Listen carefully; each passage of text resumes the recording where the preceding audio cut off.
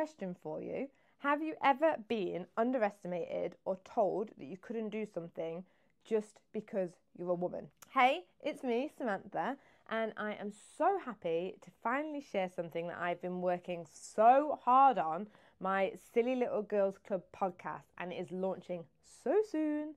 So, this podcast has actually come to life after I shared my own story at an event, and I was talking about how when I first started my business, I was dismissed as a silly little girl, literally, by the letting agent for my first salon in Notting Hill, who doubted me and my vision, and I had to fight to prove myself. But what really struck me was how many women in the room had faced the same kind of thing being underestimated, doubted, or flat out dismissed. And that is when I knew we needed a space to talk about these experiences, to share how we can rise above them and take back our power. And that's how the Silly Little Girls Club was born.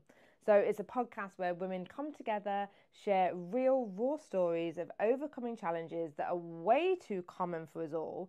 And let me tell you, these conversations are powerful.